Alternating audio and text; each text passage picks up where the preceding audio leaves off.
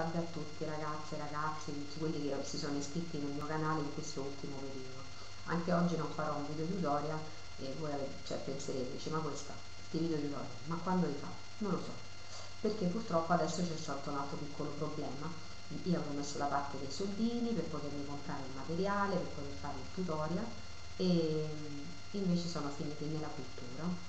Ovviamente sono andate a finire per comprare i libri di mia figlia e quindi mi sono rimaste quattro chiacchiere perché sono gratuite e, e quindi posso farle tranquillamente con voi. Anche se quest'estate ho seguito molto tutorial, ho potuto fare ben poco perché stavo in campeggio e quindi capite non è che cioè, infilare le perline pure pure, ma fare il film che mi piaceva tantissimo era un po' improbabile anche perché si scioglieva il film e quindi mh, ho, ho, cominciato a fare qualcosina appena finita l'estate e già qualco, qualcosa ve l'avevo fatta vedere nell'altro tutorial eh, avevo provato a incastonare delle, del fimo, dei ridaglioni che avevo fatto con il fimo era una prova, adesso ho rifatto alcune cosine che comunque sono un pochino, cioè sto cercando di addrizzare il tiro eh, per vedere insomma di poter fare qualcosa di più carino, per poter poi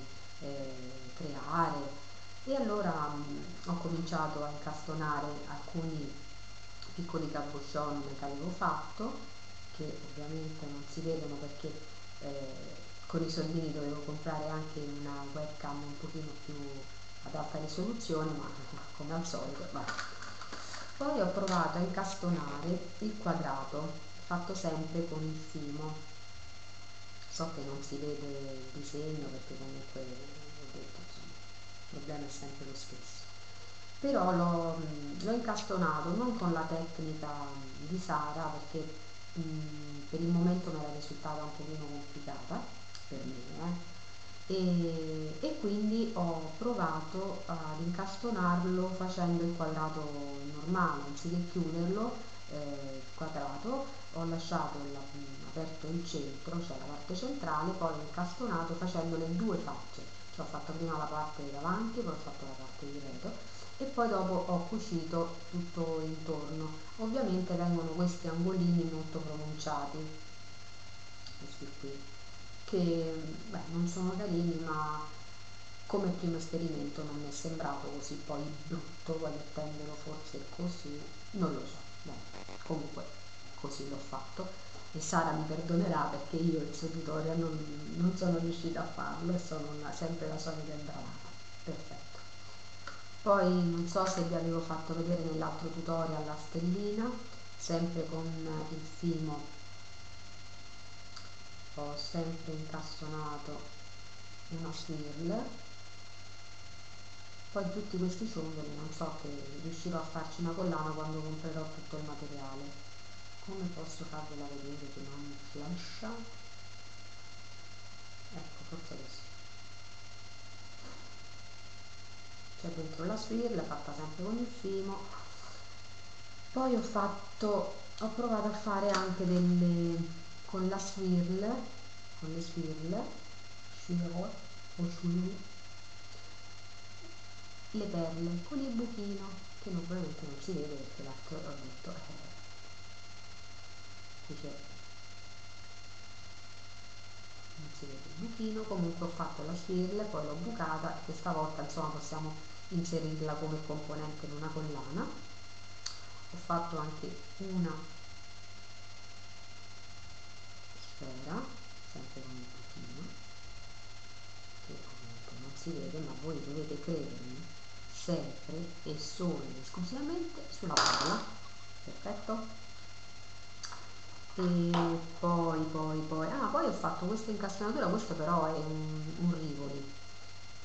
Ho trovato su una rivista questa incastonatura fatta con una stella. Pensavo di non riuscire a farla.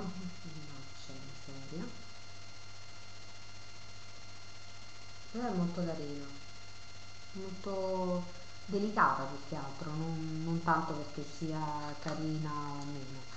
E quindi ecco, ho provato a fare un po' di, di queste sfere, questi quadrati, perché non li avevo mai fatti, i quadrati eh, ho sempre fatto i tondi perché ero, ero capace di incastonarli una volta che imparo una cosa ovviamente e quindi adesso ho fatto dei quadrati che risultano molto scuri perché infatti eh, ho voluto lavorare sulla base nera dietro e quindi anche le lavorazioni, ecco questa è una cosa che ho scoperto, cioè che avevo già visto e Sara aveva già detto, però non pensavo si scurisse così tanto, perché comunque io avevo messo dei colori molto chiari, il bianco, il rosso, il lilla, invece mettendolo su, sulle basi scure, cioè stendendo poi le fettine delle canne nel, sullo scuro ovviamente eh, anche il disegno prende veramente un colore molto molto scuro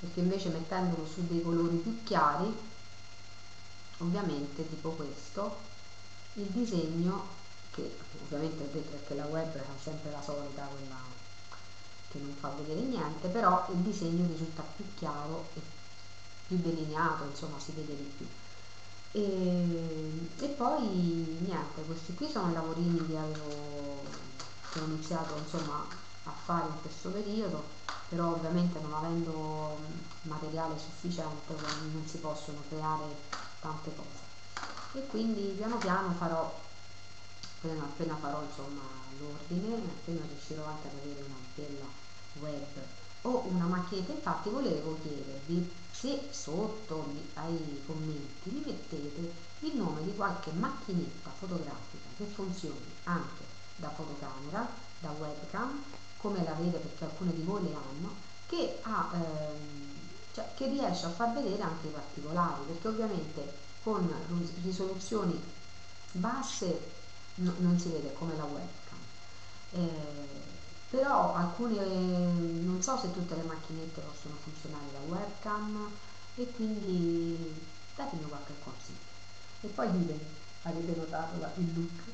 non ho più capelli voilà cambiamento fine dell'estate fine eh, di problemi ovviamente non indifferenti ci facciamo sempre una risata sopra la faccia di, di tutte le cose che ci succedono che sono negative e, e adesso vi saluto perché insomma già vi ho rotto a sufficienza. E vediamoci al prossimo tutorial. Ma. Non lo so. Un bacio